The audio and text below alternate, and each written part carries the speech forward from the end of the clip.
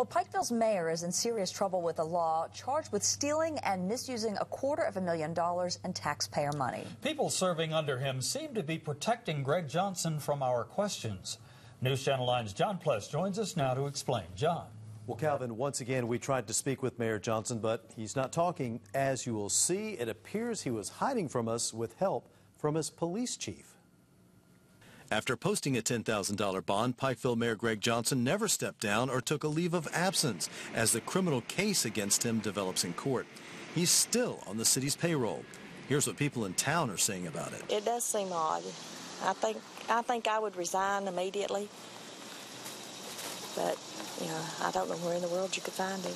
And neither did we until later. City employees gave us different stories. He's out of the office, no one knows where he is or how to contact him, or he's on the phone. After about an hour, Police Chief Ronald Byrd came out of the back office. It's Greg back there.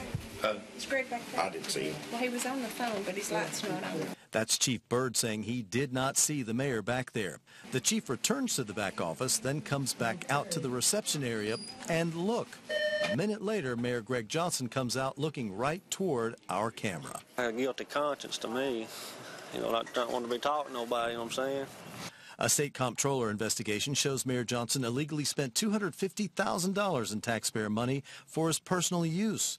The audit shows he spent more than $100,000 on vehicles the city never used, but he gave one of them to his daughter and took another one to a Miami vacation. He kept the car stored inside a building.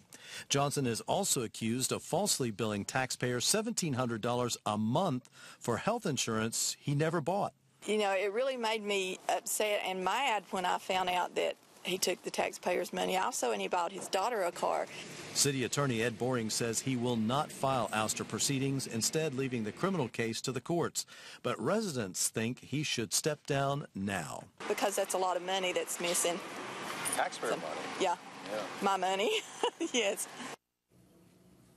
Obviously, Mayor Johnson did not want to come out and talk with me. I did leave my business card at the front desk, but he hasn't called. City aldermen are scheduled to meet tonight, but no one would say today if they'll talk about the mayor or the investigation. Mayor Johnson is due in court on the criminal charges September 26th. Calvin? Thanks, John.